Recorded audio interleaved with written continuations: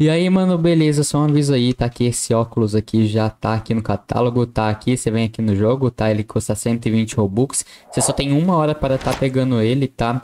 E se você é, demorar mais de uma hora, né? Ou se você não for notificado, mano, você só vai poder pegar às 4 horas da manhã, tá? Mais um vídeo foi isso, fique com Deus e falou.